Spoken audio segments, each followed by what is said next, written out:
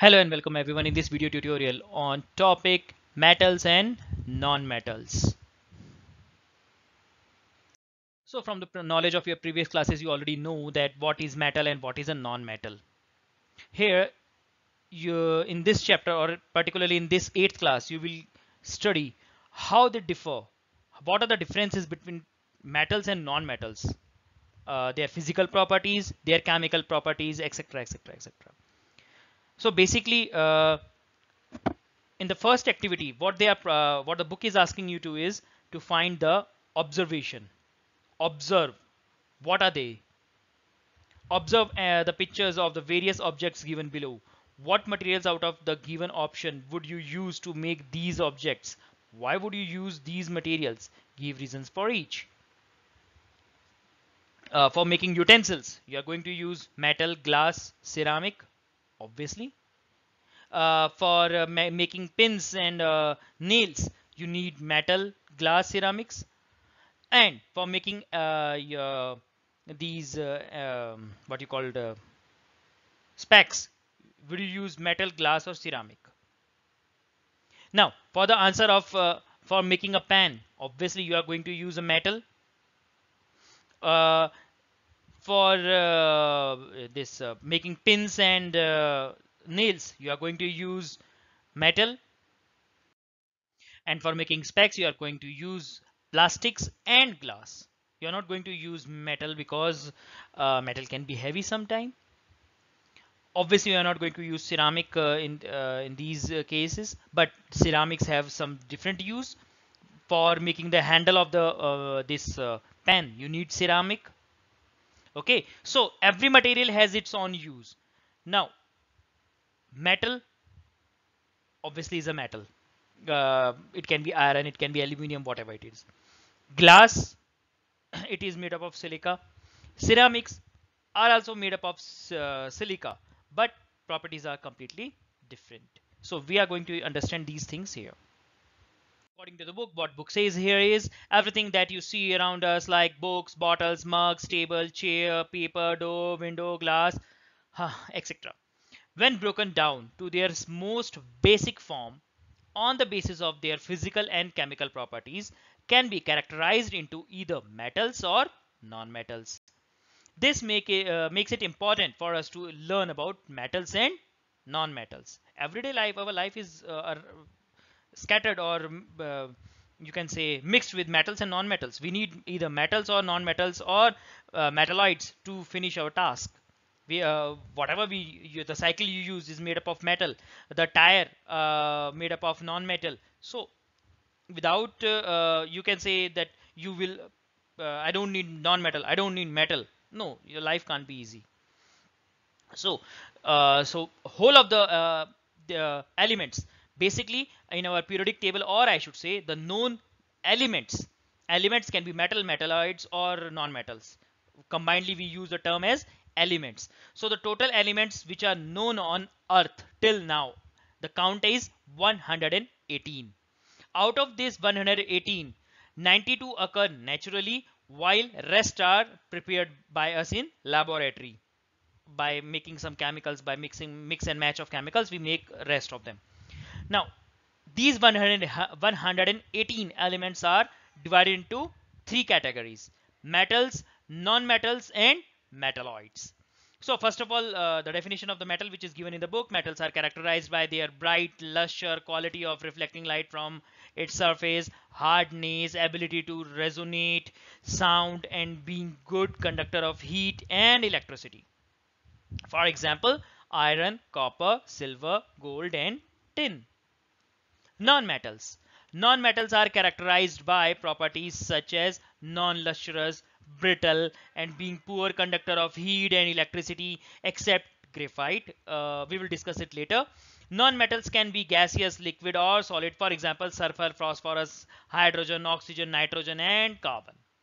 Now, metalloids, elements that have properties of both metals and non-metals are called metalloids. For example, silicon, boron, arsenic, antimony, Germany, uh, sorry, uh, not Germany, it's germanium and bismuth also. Now, you have uh, read about these properties. most of these properties are uh, related to the physical nature okay so we are going to discuss in this uh, about these properties in coming slides before we go on and study what are the properties of metals and non-metals uh, we should understand that how do we find them that is the occurrence of metals and non-metals metals occur in nature either in free or combined or mineral state a metal is said to occur in native or free when it is found in nature in its metallic state for example gold occurs in nature as metal. However, iron, and copper are found in nature in a combined state. I am just changing, twisting this definition and I am making it little, little bit easy for you. Those uh, metals which are less reactive, it will be simple for you to understand. Those metals which are less reactive like gold, uh, silver, okay. These metals uh, exist in our nature in free state because they are less reactive they do not react with any other uh, they are noble metals they do not react with much of the things so they can be found in uh, native state or uh, normal state natural state or free state. But rest iron copper aluminium etc etc take it any metal it is reactive. And uh, on the basis of its reactivity they are available in nature in different way. Okay some is making oxides some are carbonates and some uh, they all have different their their, uh, their own state of reactivity. Okay similarly non-metals exist on earth in a combined state or, as oxides carbonates and phosphates. However the there are some non-metals that occur in nature in free state. For example oxygen occurs in free state in atmosphere and also present in combined state in water. All the noble gases occurs only in free state.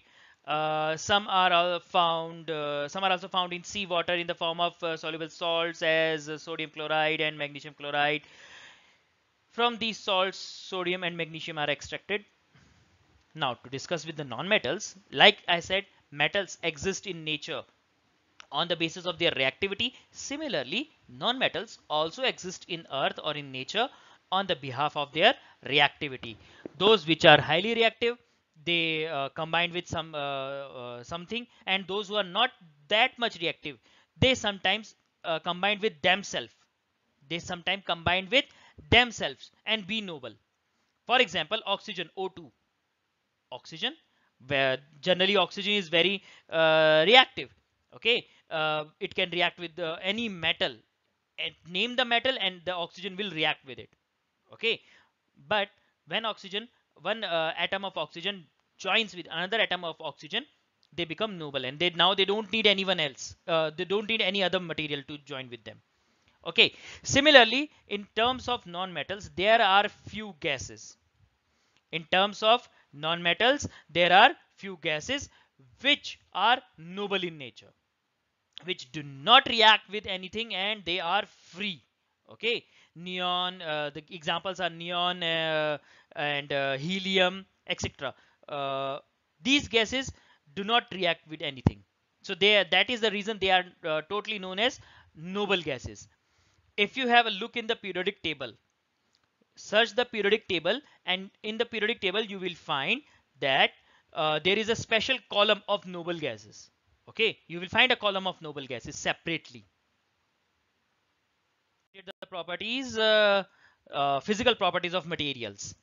Physical properties of metals and non-metals according to the book uh, physical state. Most metals are solid at room temperature except mercury and gallium. Now remember these things which are exceptional which are except whenever they, uh, uh, in your science book in your social science book when there are some exception is there then mark these line uh, or highlight these lines because these examples you need to uh, remember uh, till your 12th class. Okay? So metals are solid at room temperature. Generally metals are solid at room temperature except mercury and gallium. Okay these metals are uh, liquid at room temperature. None of the metal exists in gaseous state. No metal exists in gaseous state. Now non-metals occur generally as solids or gases. There uh, there is no uh, category of liquid. Generally uh, generally we say there is no category of liquid but there are some which exist in liquid state also okay? So we, uh, we can't deny that uh, non-metals do not occur in liquid state. Remember. But generally they are in solid and gaseous state. For example oxygen exists as gas and carbon exists as solid in atmosphere. Okay? Now someone will say sir our hairs they, they are made up of carbon. You might be having a question that carbon means black color black means our hair are black our skin sometimes is black there is a mole it is a black color so that means it is a carbon? No. It is not a carbon it is because of keratin protein it is not carbon okay two days back Rakhi was there and uh, in these Rakhi uh, in our festival Rakhi Diwali where uh, the best thing which we love is sweets. And when the sweets are served with, decor uh, with decoration, with dry fruits and silver foil, they looks good. Ah, I know, I know. Don't, don't, don't, don't do, do those things. Uh, don't go far. Uh, don't uh, try to remember Kaju Katli right now because I know hunger will strike in your stomach. But the foil, I'm talking about the foil, the very excessive thin film on the sweets is made up of silver. So we can say that silver can be hammered to make very thin, very thin foils. These foils are so uh, the uh, we uh, generally the name which is used for it is work. Okay, these uh, foils are so thin that even your hair uh, uh, hair will uh, feel shy before them. Okay? So the first property which we understand here is malleability. What is the meaning of malleability malleability means uh, when we hammer the property of uh, metals due to which they can be hammered and made into thin sheets without breaking called malleability. Now suppose there if there is a, a glass in your hand and if you uh, hammer it what will happen? It will crash or it will uh, uh, because of brittleness it will uh, break into tiny minute piece, uh, small pieces but this will not happen with any metal.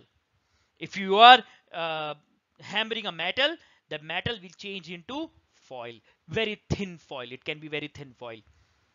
Go generally in market we can find gold foil silver foil aluminum and copper. Now uh, just uh, for example I, am just going to give you uh, a review of small thing. Uh, we generally say golden temple uh, uh, or if you visit a temple and they said that this temple is a made this temple is made up of gold that doesn't mean there this temple that temple or that golden temple is having gold you can say bricks. No. No it, it is not possible and no one can afford that thing. What they generally do is they have a design they have a copper design whatever the leaf or flowery structure. Over that design they uh, cover that design with a very fine film of gold. Okay so uh, it changes uh, it looks like uh, something is made up of gold. Okay so uh, that is the way how things happen. Now going according to the book uh, Gold, uh, silver, aluminum and copper are highly malleable metals making them very useful in various applications. The sugar cube size chunk of gold can be hammered or pounded into a thin sheet that can cover a football field. Can you amaze? Uh, isn't this amazing? That a sugar a sugar cube. Now I'm talking uh, uh to understand this sugar cube just try to understand that you have a cube of uh, dimension 1 centimeter you have a cube of dimension 1 centimeter of gold so I, uh, supposingly I should say if you have uh, nearly 30 gram of gold okay if you have only 30 gram of gold this uh, chunk of gold if hammered can cover a complete football field or suppose you can say our complete school stadium with this uh, small piece. Aluminium is used to make foils that are used to pack foodstuff, medicines, cover and chocolate or chocolates. You know about aluminium everywhere. Uh, uh, aluminium wraps and all these things which are available to you. Non-metals, however, cannot uh, withstand hammering and so are known as to be brittle in nature. For example, zinc on hammering breaks into uh, pieces and thus brittle in nature. Okay, uh, there is a misprinting here. Uh, basically, uh, when we talk about zinc, zinc is a metal. Okay, zinc is a metal, so there is a something uh, misprint in the book. It, it can be you can say carbon or any other thing. You can write it down here. This property of non-metal, when they occur in solid state due to which they break into pieces on hammering is called brittleness. I just used that word uh, when I was giving the example of glass. Brittleness, it is a brittle and it will break. Some non-metals such as oxygen and hydrogen are in gaseous state and bromide in liquid state do not show the property of brittleness. Like I said that uh, metals do occur in liquid, uh, sorry, non-metals do occur in liquid state. Okay, generally they are in uh, solid and gaseous state. But look, we got the exception, bromine. Make sure you are copying it down. Bromine is the non-metal which exists in liquid state. Okay. Well, after the complete explanation of uh, that uh, malleability, I don't think I need to discuss this activity. Uh, if you want, you can perform this activity at home. Uh, in if you do not find the these coal pieces, you can uh, do not use glass because it can uh, it can be hazardous. It can um, cut your hands. Uh, but you can use wood or any other non-metal which uh, you can access even plastic also. Okay after uh, malleability the next property which we have is ductility. Now malleability was we can hammer it and change it into film or sheet. And ductility means we can draw we can stretch it out to make wire. Now according to the book the property that enables a metal to be drawn or stretched into thin wires is called ductility. Gold and silver are known to be the best ductile metals. A 100 gram go, uh, 100 gram of silver can be drawn into a thin wire of about 200 meter long. 100 gram wire, uh, so 100 gram piece of metal can be drawn in uh, to make a 200 meter long wire. Copper, aluminium, iron and magnesium can also be drawn into thin wires. Some of the practical uses of ductility of metals include copper being used inside electric cables as wires and tungsten being used for making the filament of an in, uh, incandescent blood uh, bulb sorry uh, the bulb not these bulb uh, right now which we are using these uh, led bulbs or uh, you can say um, what uh, the tube bulbs uh, I forgot their name. The bulbs which we 100 watt bulbs which we used to which used to give us the yellow light they were having a filament. That filament was made up of uh, tungsten. Okay? Next is luster luster means shine. The property due to which metals appear shiny is called luster okay one thing i missed to add up here. Uh, ductility uh, we do not uh, ductility is not a property of non-metal. Ductility uh, non-metals do not have any property of ductility. We cannot make any wire. But do not get confused with carbon. Again i am saying do not get confused with carbon because when we talk about ductility we are able to draw wires from carbon. Have, but the name which we give it is carbon fiber. And there is a complete different process the uh, it, the carbon fiber is made from a very different process than the wire which we use here okay now next is luster. The property due to which metals appear shiny is called luster. Most metals are lustrous in nature. The property uh, makes this property makes the metals good reflectors of light. These metals can be polished, for example, gold, silver, platinum, and copper. Non-metals do not have luster, hence they do not shi appear shiny. They do not reflect light and appear dull. However, a few nonmetals such as iodine and graphite show luster. Now, graphite is again made up of carbon. Okay, graphite is made up of carbon and that this graphite can reflect light.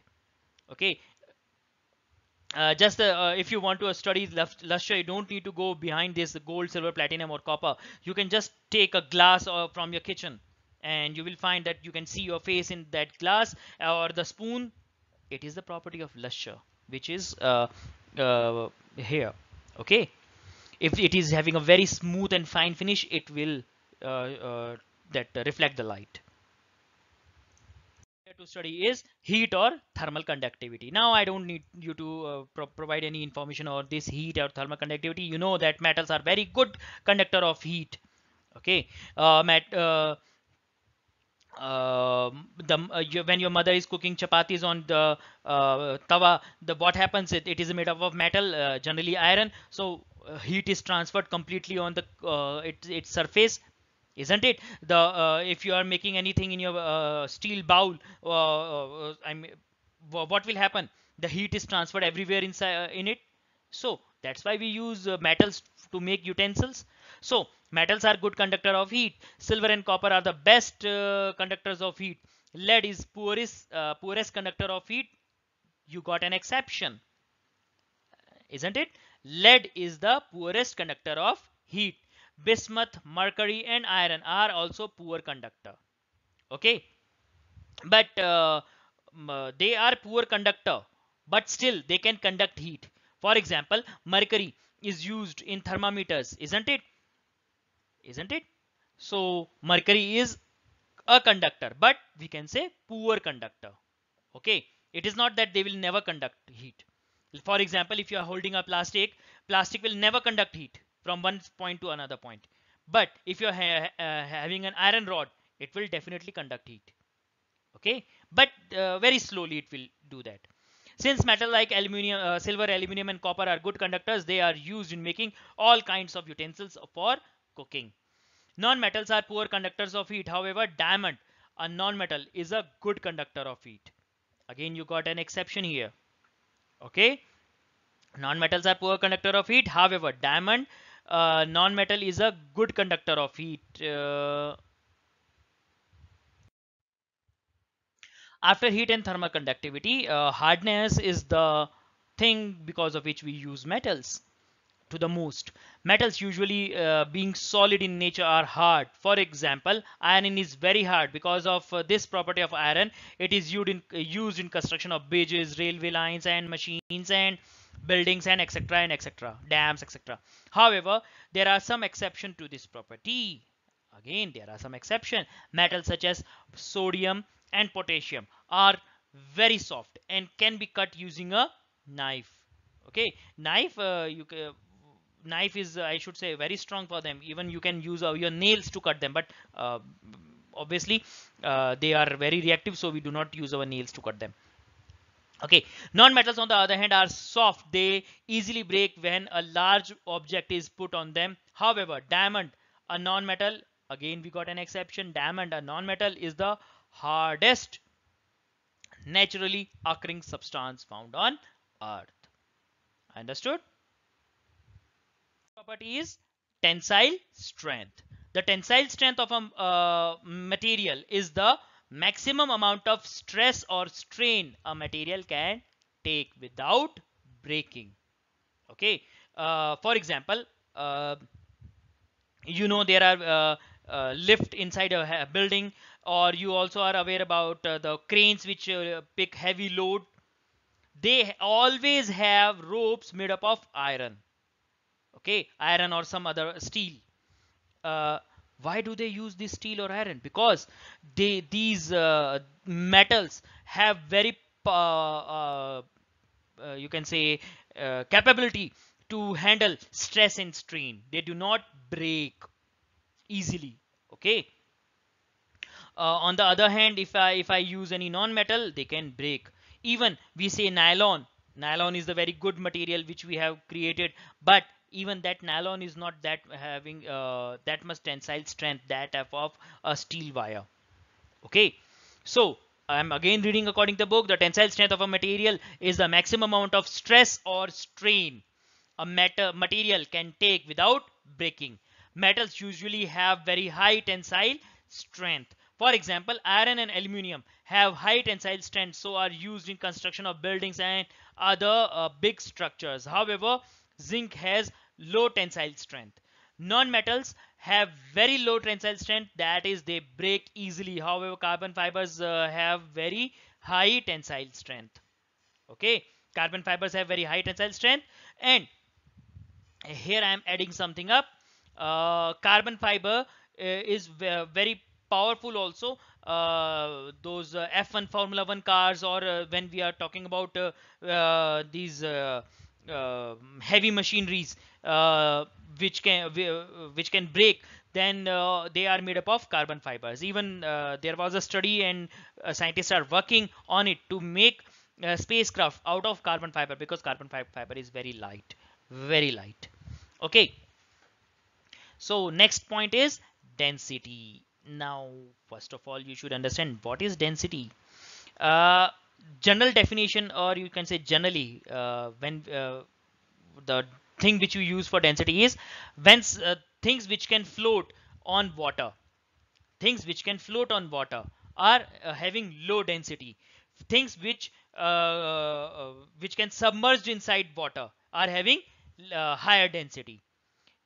To make it easily understandable easy to understand जो चीज़ें पानी के ऊपर तैर सकती हैं those things which can float on water are having less density than water those things which will submerge inside water और they can't float जो कि उसमें पानी में डूब जाएँगी they can't float on water they are having higher density so metals are usually heavy and have very high density okay iridium and osmium have the highest densities whereas lithium sodium and potassium has low densities.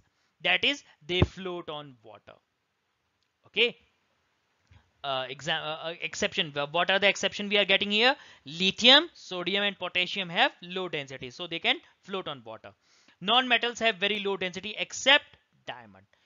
Okay? If you place a diamond it will just go inside water and uh, other non-metals uh, even plastics and multiple things they will float on the water. Next thing is conductivity of electricity. Silver which is uh, also a good conductor of heat is a best conductor of electricity. Similarly copper and aluminum are good conductor of electricity and thus use uh, thus are uses uh, in electrical wiring for houses and other buildings.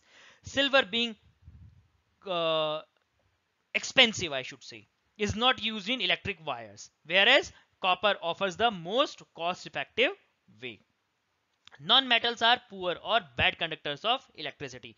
For example, sulfur and phosphorus. However, graphite is the only non-metal. Now, we got an exception here. Graphite is only non-metal that acts as a good conductor of electricity. Okay. It is made up of carbon. It's uh, it is an allotrope of carbon. After conductive, uh, electrical conductivity, uh, next we have is sonority or things which can create pleasing sounds. Okay. Uh, there are there can be multiple sounds like uh, the sound which i am making right now. This sound is not that much pleasing. It's not looking uh, it's not good for ears. You uh, after a few seconds you will be oh please shut it out. Okay. Or if uh, some drill machine is working on the wall that is also a sound. But that sound is uh, it will create uh, disturbance in your mind. You don't want that sound. But if someone is uh, uh playing a violin or a guitar or uh, a bell they sound looks good. They feels good. That is sonority. Okay? Sonority is the property of metals to produce a deep resonating sound when struck with a with an object. Now resonating, the word resonate means vibrating sound. Okay. When we will study sound chapter, we will uh, have a discussion over this on a very large extent. Right now, you only need to understand that uh, it's because of vibration that sounds are getting created. Okay. Uh, thus, metals are sonorous by nature. This property makes metals useful in making bells or musical instruments. On the other hand, non-metals do not make sounds when struck uh, with an object. Thus, non-metals are non-sonorous by nature. Okay. Uh, general example uh, are multiple things. You can uh, there are uh, except drums uh, except drums. Most of our musical instruments are made up of metals. Okay. So, for example, guitar though it may have uh, wooden or plastic body but the wires they are of metal. And when you touch the wire you can get the sonority sonority of it. Okay next is melting and boiling point. The melting and boiling points of both metals and non-metals vary widely. There is a very wide uh, gap uh, differences between metals and non-metals uh, regarding uh, melting and boiling points. There are some metals which have very high melting and boiling point and there are some metals which melt very easily. Okay uh, and similarly in the terms of uh, that uh, non-metals also. Now going according to the book the melting and boiling points of both metals and non-metals vary widely. Metals tend to have a higher melting and boiling point. Metals which are physically flexible elements can uh, that can produce heat and electricity uh, that can sorry that can conduct heat and electricity tend to be solid at room temperature. Due to their relative high melting points Non-metals, which are physically weak and poor conductor of heat and electricity, can be solid, liquid or gaseous depending on the element. For example, uh, for example, tungsten, a metal, has a melting point of 3370 degrees Celsius. It is a melting point, not boiling point. Uh, just to uh, tell you, 1800, uh, 1800 is the melting point of iron. Okay? Whereas the melting point of hydrogen a non-metal is minus 259.14 I am again speaking minus at 0 degree Celsius our ice uh, that water freeze into ice. At minus 1 it will be ice. And I'm talking about minus 259.14 degrees Celsius. Okay? So there is a very vast difference between things which can happen okay today thank you Bye.